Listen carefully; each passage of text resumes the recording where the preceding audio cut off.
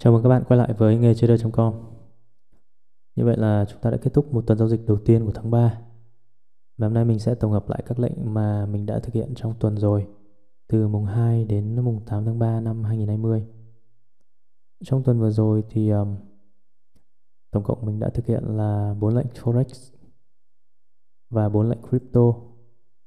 Với à, 4 lệnh Forex mình uh, thắng 1, thua 3 thu về lợi nhuận là 2.69%. Với crypto mình à, thắng 2, thua 1 và hòa 1. Lợi nhuận thu về là 10%. Như vậy là tổng cộng 8 lệnh thực hiện của mình gồm 3 lệnh thắng, một lệnh hòa và 4 lệnh thua. Với 3 lệnh thắng thì mình thu về 16,69%. 4 lệnh thua thì mình bị âm 4%. Như vậy thì à, tổng lợi nhuận của mình trong tuần à, đầu tiên của tháng 3 đó là 12.69%. Một con số khá là khả quan. Tuy nhiên thì à, mình sẽ không tập trung vào con số này mà mình sẽ tập trung vào cách mình cách thức mình giao dịch và quy trình thực hiện các à, công việc hàng ngày của mình từ à, dự báo nhận định đến việc vào lệnh là việc quản lý chơi tất cả nên được uh, quy định rõ ràng lúc nào nên làm việc gì giờ nào nên làm việc nào. Ở trong một tình huống nhất định thì uh, chúng ta sẽ có sẵn kế hoạch để có thể uh, không bị bất ngờ trước thị trường. Ok và mình sẽ đi một vòng các lệnh mình đã thực hiện. Đầu tiên mình sẽ bắt đầu với forex. Với lệnh đầu tiên đó là lệnh uh, đô la Mỹ và đô la Canada. Thực hiện vào ngày mùng 2 tháng 3 lúc uh, 14 giờ. Thì um, chúng ta sẽ quay lại thời điểm vào lệnh. Tại đây sau khi thị trường đi vùng đi qua điểm vùng uh, double top này thì uh, đi lên một đoạn. Sau đó ngay lập tức retrace lại với một xung lượng rất lớn và mình um, vào lệnh bằng một mẫu hình tiếp diễn xu thế giảm đó là lá cờ ờ, giảm tại đồ thị M15 mình vào lệnh uh, tại điểm break của lá cờ và stop loss bên trên là 30 pip. Và sau khi uh, thực hiện lệnh này thì uh, giá đã đi xuống.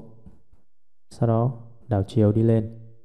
Vào lúc 18 giờ và mình đã bị thoát lệnh này với âm 1% lợi nhuận. À, tuy là một lệnh thua nhưng mình hoàn toàn hài lòng với lệnh này và nếu gặp một setup tương tự trong tương lai thì mình chắc chắn sẽ vào lệnh. Tiếp theo là một lệnh buy của cặp euro và đô la Canada. Thực hiện vào ngày um, mùng 3 tháng 3. Đây là thời điểm mình vào lệnh. À, trước hết thì chúng ta phải biết là chúng ta đang khu vực nào đó là khi chúng ta vừa break khỏi trendline của uh, lá cờ này của nêm giảm này và dự báo là nó sẽ đi lên dài hạn do đó mình uh, sau khi um, không thể vào tại điểm này do chưa về đến vùng double bottom mà mình uh, kỳ vọng thì uh, đã break lên và sau đó chúng ta xuất hiện một lá cờ tăng. Và đây mình vào lệnh tại điểm break lá cờ stop loss bên dưới. Hy vọng là giá sẽ đi lên vùng bên trên tuy nhiên thì um, sau khi khớp lệnh gần như uh, ngay lập tức thì mình đã bị stop loss. Sau khi giá stop loss tạo một uh, lá cờ lớn hơn và đi lên. Và hôm nay chúng ta thấy có một uh, gap rất lớn lên tới 227 pip đối với cặp này và nó để đi lên cực kỳ mạnh. À, đợt điểm này thì chúng ta có thể hoàn toàn có thể vào lệnh. Tại đây chúng ta có thể vào lệnh tại điểm break của lá cờ này. Stop loss bên dưới. Khoảng 42 pip. Cũng khá là tiềm năng. Cuối tuần trước thì ờ, uh, Eurocat cũng uh, có một lá cờ tăng nhưng mà chúng ta sẽ không có cơ hội để vào lệnh này bởi vì trong ngày à, trong lúc bắt đầu phiên á buổi sáng nay thì các bạn có thể thấy là ta đã có một gap rất lớn và đi lên, chạm tới vùng à, kháng cự này. Và hiện tại thì à, mình nghĩ là nó sẽ tiếp tục điều chỉnh và đi lên để đạt target vùng bên trên này. Hiện tại thì nó đang điều chỉnh để tăng tiếp đây là theo ý kiến của mình. Với lệnh này thì mình uh, đã thua 1% và hài lòng với những gì đã thực hiện. Tiếp theo là một lệnh thắng của mình thực hiện với cặp ờ, uh, bảng Anh và đô la Canada. Lệnh thắng này thực hiện vào ngày uh, mùng 3 tháng 3 lúc uh, 7 giờ sáng. Thực ra thì lệnh này mình có thể um, có điểm vào tốt hơn nhưng mà tại thời điểm 7 giờ mình mới dậy nên là mình vào hơi muộn một chút. Lẽ ra thì uh, chúng ta có thể thắng lớn hơn. Sau mình có thể vào lệnh sau cái mô hình à, Morningstar này. Stop loss gần hơn. Thì khoảng à, 50 51 pip và nếu chúng ta take profit ở điểm uh, giống như lệnh lúc nãy thì có thể tiềm năng đạt được tới 8% do đó điểm vào là rất quan trọng đối với um, một trade tại vì nó liên quan đến uh, stop loss nữa. Do đó lệnh này mình đã chiến thắng chỉ với 5.69% tuy nhiên mình cũng rất hài lòng. Uh, khi mà vào lệnh này thì chúng ta đang ở đâu? Chúng ta đang ở khu vực lần chạm thứ ba của đồ thị daily lá cờ một lá cờ tăng. Sau một sóng đẩy mạnh giá điều chỉnh trước khi tăng tiếp. Và sau lần chạm thứ ba thì điểm lệnh này đã được mình dự báo từ trước là vùng này là niềm cực kỳ tiềm năng để mua lên. Và khi đồ thị H1 chúng ta thấy là nó giá điều chỉnh và sau khi tạo một kênh giảm này giá tiếp tục tạo một double top à double bottom một đáy đôi tại đây. Và điểm vào đẹp nhất là sau mô hình Morningstar này. Và mình đã bị vào muộn một chút à, và do này không tối ưu hóa được lợi nhuận với cặp này. Tuy nhiên thì à, đây sau khi giá khớp lệnh này thì đi lên. Và thời điểm này mình rời ờ, uh, stop loss về entry và đến đây thì mình đã switch bị stop loss thì sau đó giá vòng lên. Điểm này chúng ta có thể vào thêm một lệnh. Sau khi đã phá được vùng đỉnh này và tạo một lá cờ đây có thể một cơ hội. Tuy nhiên mình ờ, đã không tham gia lệnh này.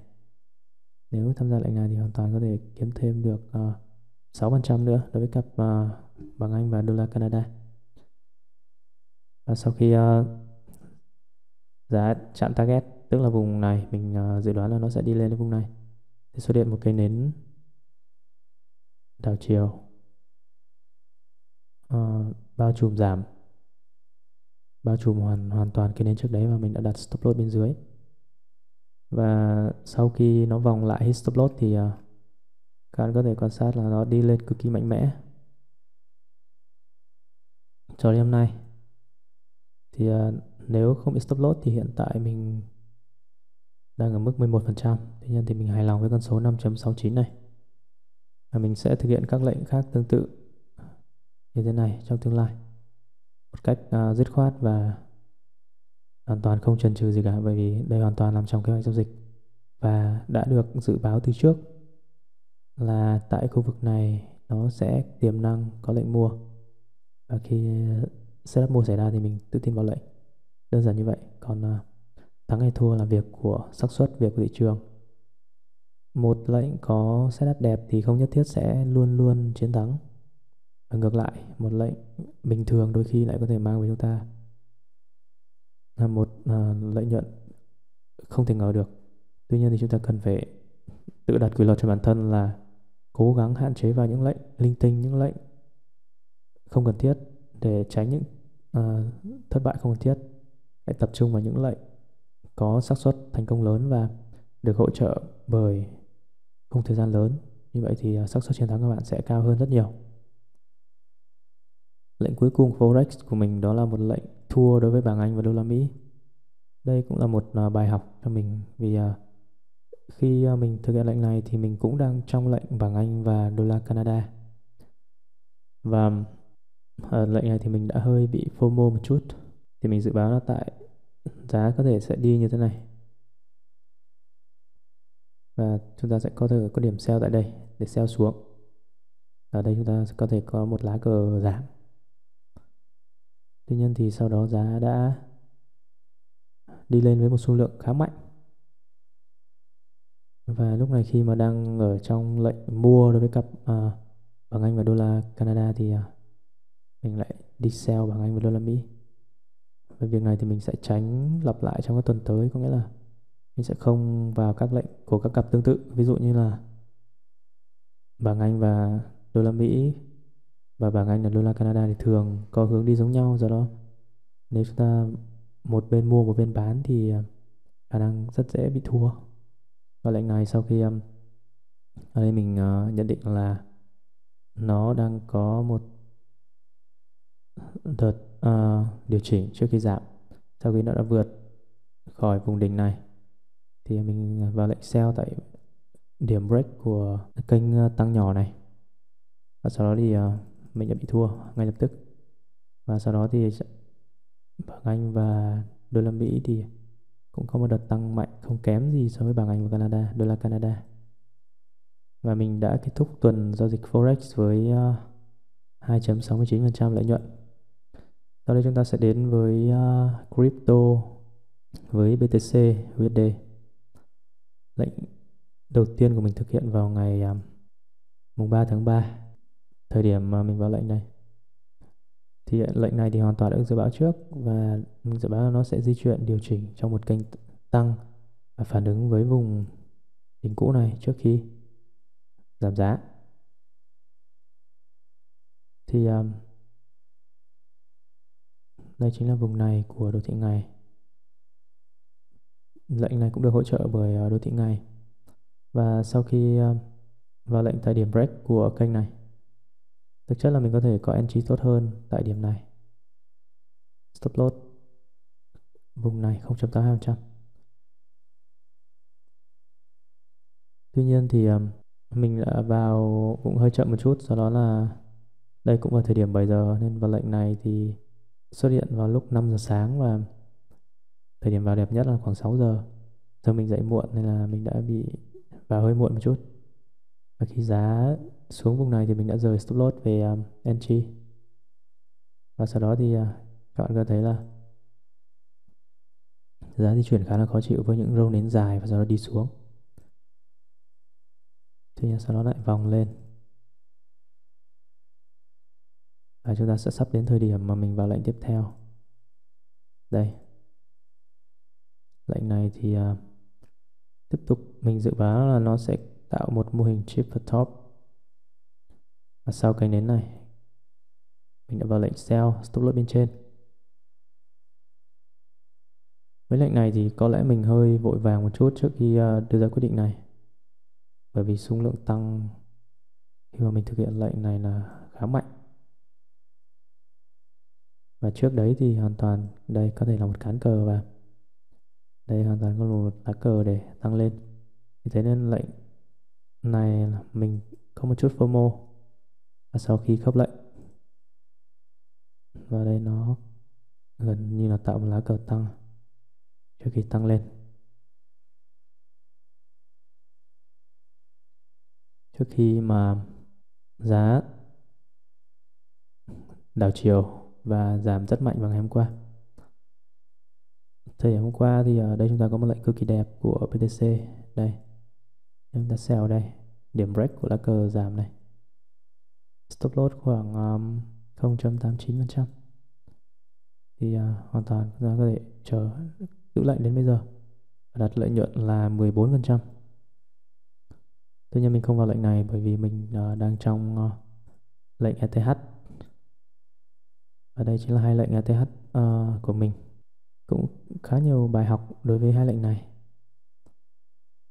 Đây là thời điểm mà mình vào lệnh sau cây nến uh, hai test của đồ thị H1 thì uh, giá di chuyển cực kỳ mạnh xuống và mình đã dự báo là tại khu vực chân line này nếu như giá điều chỉnh thì mình sẽ vào lệnh sell phần dự báo này thì mình cũng đã post trên fanpage của người trader ở đây tại đồ thị M15 sau khi uh, giá điều chỉnh trong vòng 6 cây nến thì mình đã vào lệnh sell tại điểm break của lá cờ stop loss bên trên là à, uh, 1.32% à, tại điểm 241.10 sau đó giá đi xuống. Và đến đây mình đã suýt nữa bị thua chỉ cách stop loss có một chút thôi cách có 0.22 đô. Thế nên mình vẫn ở trong lệnh này. Và sau đó giá đi xuống. Và ở đây thì mình tiếp tục dự, dự báo là nó sẽ có thể tiếp tục tạo một lá cờ và mình sẽ tham gia thị trường nếu có một lá cờ. Và đây. Tiếp tục là vào lệnh tại điểm break của lá cờ và stop loss bên trên. Hai setup này tương đối giống nhau lốt loss của mình là 1.7 phần trăm. Và sau khi giá khớp lệnh, các bạn có thấy nó đi chuyển xuống. Và tại đây nó tiếp tục, chúng ta sẽ tiếp tục có một lá cờ giảm và là có thể tiếp tục vào lệnh sell tại điểm break này. Stop loss bên trên 1.6% nếu mà mình uh, tiếp tục vào lệnh này thì có lẽ lợi nhuận của mình còn lớn hơn nhiều. Um, sau khi khớp hai lệnh thì giá đi xuống khá là mạnh mẽ. Ở thời điểm này thì uh, mình rời stop loss về uh, vùng này về vùng 5% tiếp tục để giá di chuyển. Và sau đó nó đi xuống. Sau cái nến này thì uh, giá cũng đã chạm vùng target này. Và tại đây thì hoàn toàn giá hoàn toàn có thể đi lên. Do đó khi cái nến này, một cái nến pin 3 xuất hiện thì mình đã đặt rời stop loss về vùng chốt tại 7% đối với lệnh 1 và 4% đối với lệnh 2 và sau đó, đây, sau cái nến này mình đã bị thoát lệnh. Thực chất thì ở thời điểm này thì mình đã hơi vội vàng nếu mình bình tĩnh hơn, chờ cái nến xanh này và sau đó rời stop loss về đây, trên cái nến xanh. Và sau đó các bạn có thể quan sát, nó đi tiếp tục đi xuống và tiếp tục xuống cho đến ngày hôm nay. Nếu còn ở trong chơi này thì à, mình hiện tại có thể rời stop loss về đây. Cả hai lệnh. Và hiện tại thì đang có 13% gần 14% và tiếp tục ở trong trade này. Um, tuy nhiên đấy chỉ là nếu thôi còn mình tương đối hài lòng đối với cách thức mà mình quản lý hai lệnh này. Và mình đã bị rời vị thế với um, 11% lợi nhuận của hai lệnh này. Một lệnh ờ, uh, 7% và lệnh một lệnh 4% hiện tại thì um, ATH các bạn có thể quan sát là nó phá qua được vùng này. Và nếu như có một mô hình tiếp diễn ở đây thì chúng ta sẽ có một cơ sở để tin rằng nhiều khả năng giá sẽ tiếp tục giảm và hoàn toàn có thể đi về mức giá 115 ở dưới này. Còn hiện tại thì rất khó để có lệnh mua. Chúng ta chỉ có thể căn vào lệnh mua trừ khi nào khi có một cây nến hoàn toàn đi ngược lên với một số lượng cực kỳ lớn. Một cây nến khoảng tầm ờ, uh, 30 đô. Có giá trị khoảng 30 đô đi ngược lên. Thì lúc đấy chúng ta mới có thể nghĩ đến chuyện buy. Còn hiện tại nếu giá di chuyển như thế này nhất là ở đồ thị H1 các bạn thấy là nó vừa tạo một lá cờ giảm và đây cũng là một điểm chúng ta có thể entry lệnh sell đối với ETH bạn thấy tại đây. Chúng ta hoàn toàn có thể vào lệnh tại điểm break của vùng này stop loss bên trên. Và nếu ở trong lệnh này thì um, chúng ta hiện tại đang có 2,8% lợi nhuận và lệnh này vẫn đang chạy. Hiện tại thì mình à, chờ đợi một đợt hồi phục để tiếp tục sell đối với cặp uh, Ethereum và đô la Mỹ này. Ok như vậy là mình đã kết thúc tuần vừa rồi của cryptocurrency với à, um, 11% lợi nhuận của lệnh ETH tổng kết lại thì uh, mình thu về 10% đối với 4 lệnh một thua, một hòa và hai thắng. Vâng, như vậy là mình đã kết thúc phần tổng hợp các lệnh trong tuần từ uh, mùng 2 tháng 3 đến mùng 8 tháng 3 năm 2020 Tuần giao dịch này là một tuần giao dịch thành công nhất từ đầu năm đến giờ của mình với ờ, chỉ một tuần đã mình thu về 12,69% còn hơn cả 3 tháng trước cộng lại. Tuy nhiên thì ờ, điều này cũng không quan trọng bằng việc là mình đã thực hiện kỷ luật giao dịch của mình trong tuần vừa rồi như thế nào? Và đó là điều mà mình tập trung hơn là nhìn vào kết quả. Tại vì một trader chuyên nghiệp sẽ quan tâm đến việc là thực hiện một trade thật tốt thay vì nhìn vào số tiền mà anh ta có thể kiếm được.